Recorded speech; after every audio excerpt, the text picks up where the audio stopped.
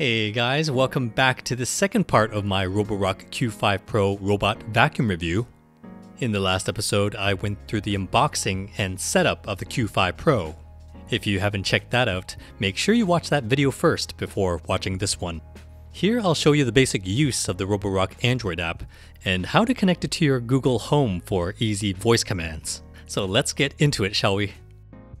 Again, the Roborock app is totally optional, but you'd be equally amazed by it and the sheer amount of features it offers. Especially if you have a complex floor plan, you can specify different jobs for different rooms, set different maps for different floor levels, add avoidance areas, virtual walls, automatic scheduling, and even manual piloting. The list goes on and on. And I found in my case, and I think many others, it's normally a set it and forget it kind of deal. So I'll briefly go through the basics of the Roborock app.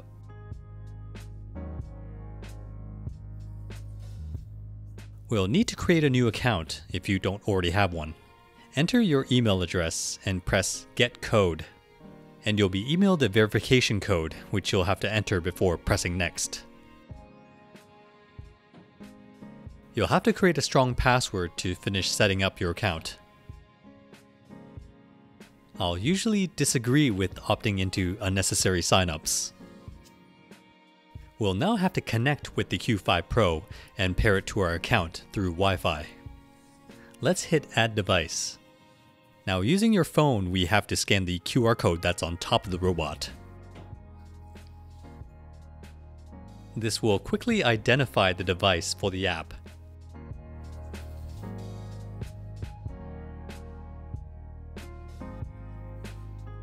It'll then ask us to reset the Wi-Fi into pairing mode. This is done by pressing and holding both Spot Clean and Home button for 3 seconds. Resetting Wi-Fi.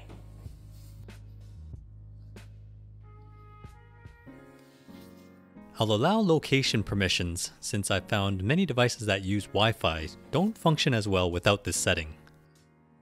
So now we need to specify the Wi-Fi network the Roborock will be connecting to. I always suggest setting up a separate guest network for all your smart devices. This will prevent any congestion or potential snooping on your main network. Wi-Fi connection failed. So I did run into an issue connecting with my Wi-Fi password. I eventually figured out that my Android keyboard will automatically capitalize the first letter of my password, which obviously is case sensitive. I worked around this by typing out the password after the first letter, then going back and removing it.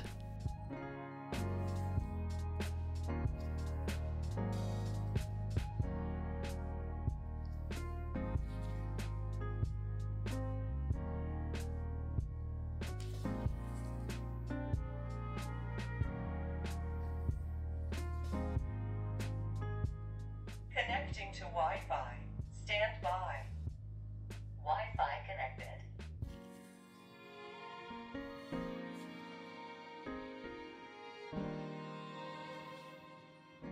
Once Wi-Fi is set up, the app will have you go through this quick wizard to adjust some common settings, all of which can be changed later in the app.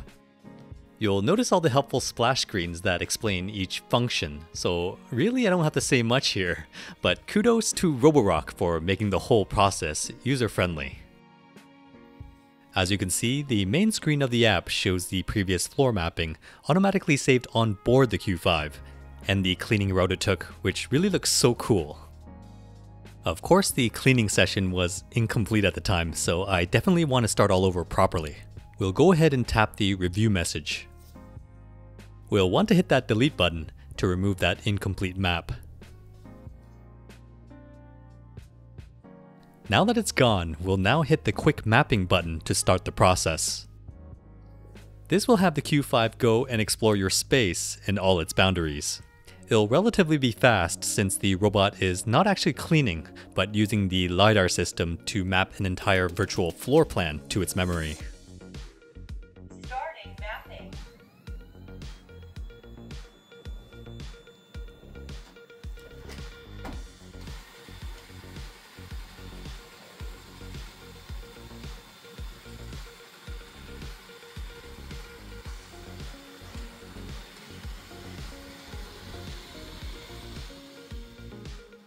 It's pretty cool to watch it live on the app, seeing its route and everything that the Q5 senses while it's moving.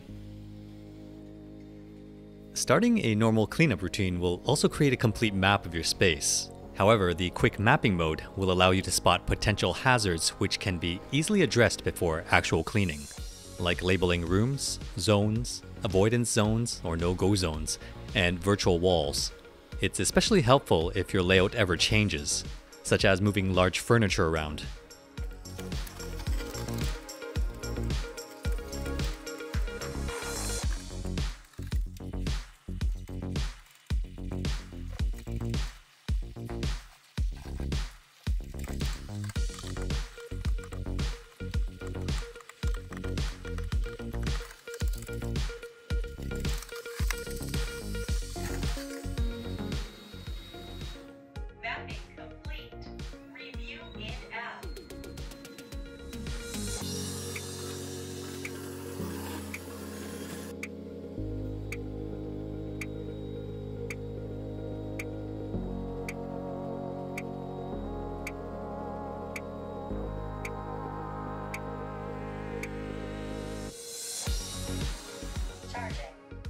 So, returning to the dock, there's actually some AI that processes the map and automatically suggests rooms and avoidance areas it picks up, which can be reviewed. Of course, we can spend a good amount of time adding or modifying areas manually as well. Now, one of the most useful features of the app is that we can set virtual walls or no go zones.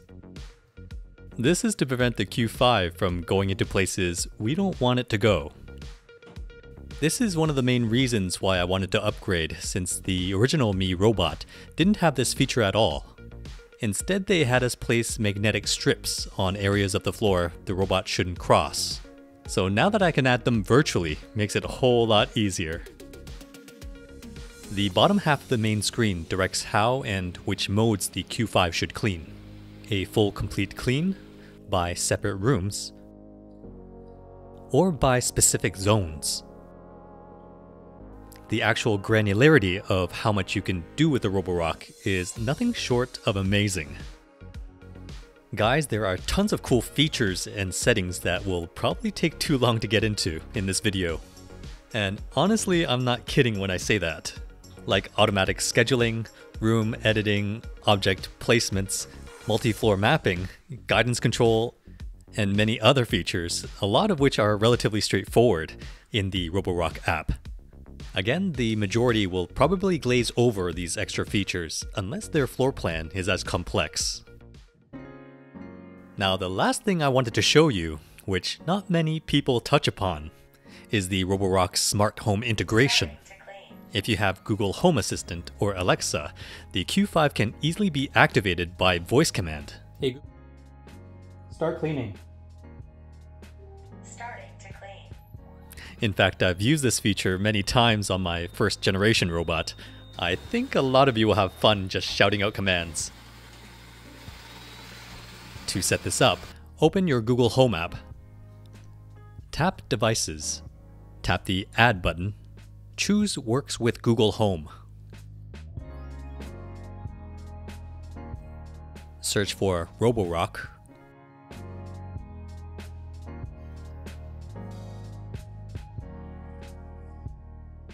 Now we need to authorize our Roborock app with Google Home. Tap Login with email. Use the same login details you registered your Roborock account with. You should now see your Q5 Pro as a device. Select it and hit Add to Room. Now choose the room that your charging dock resides in. Tap Done and go back to your Devices tab.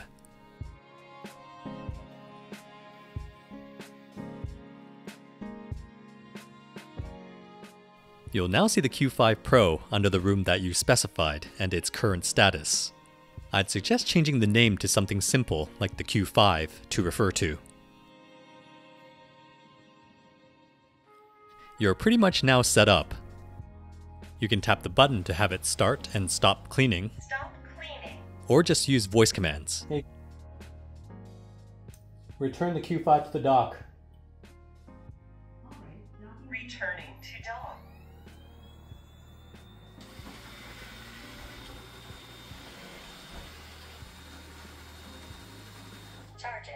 It's that easy.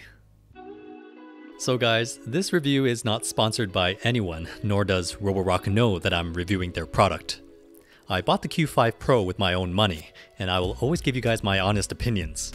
For me, the issues I've discovered with the Q5 Pro are really quite minimal. Obviously, the mopping feature on this model should have been left out entirely, since there's no smart mechanics to it, other than dragging a wet cloth on the floor. And speaking of which, I think Roborock should have included a spare cloth for customers to switch out at least. Another tiny gripe I have is the power cord plug position on the charging dock. I would have liked it to be more adjustable to accommodate the outlet position. Now for performance and value. It's outstanding, which is no surprise when it comes to Roborock's history in this space. There's a plethora of videos out there that can demonstrate its cleaning abilities on and off the carpet. Roborock has consistently been at the top, and I consider them one of the true pioneers of smart home vacuum tech in the industry. And I'm speaking from personal experience using their first generation robot since nearly a decade ago. The Roborock Q5 Pro obviously gets my stamp of approval. If you liked this video, hit that like button, comment below, and if you enjoy my content, please consider subscribing to this humble YouTube channel, as it helps me create more content like this for you guys. Alright, cheers.